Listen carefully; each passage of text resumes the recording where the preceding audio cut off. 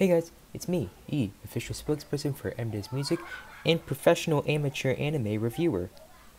Uh, if you hear any random screaming in the background, it's just the kids. Um, so this is a really like rough announcement today. Don't have a script or anything. Uh, since it's mostly just uh, off the cuff, things have been coming up recently.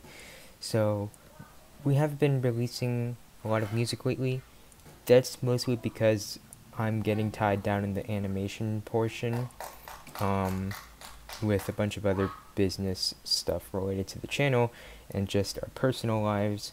So for now, at this point, for both M and me, um, our respective uh, schools have uh, started up, so now we have less time to do this music stuff. But we still have a lot of music. We have, uh, I think, like almost a little over 30 mashups still waiting in the wings, waiting to be published.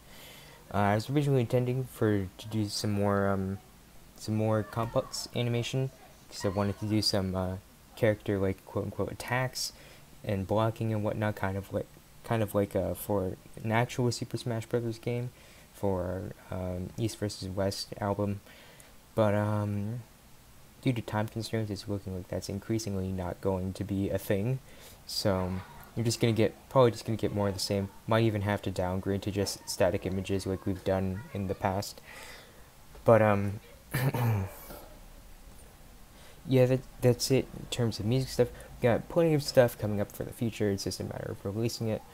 Um, hopefully, uh, can get out the next album where Racing is going against the All Star or the next song where Racing is going up against the All Star by next week, hopefully. Uh, we're also working on other stuff for the channel. Uh, we've been uh, working on doing our research for Kakegurui Season 2 for the Time Traveling Casual series. Um, we're basically almost done with that.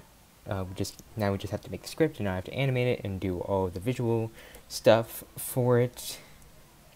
So most likely most of my creative attention will be diverted to that since I'm not able to do the full-fledged animations anymore.